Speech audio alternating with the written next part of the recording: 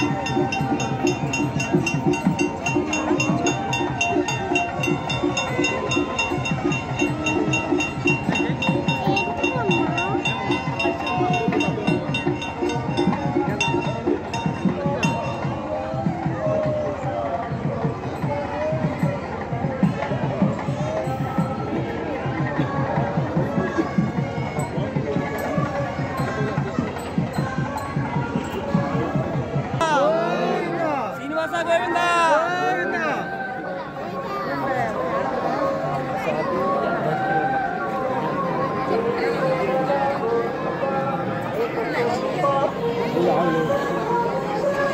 ಗೋವಿಂದ ಏನು ಬರ್ತಾನೆ ಅಲ್ವಾ ಅಮ್ಮನ ಎತ್ಕೆಲ್ಪ ದಾ ಸರಿ ಗೋವಿಂದ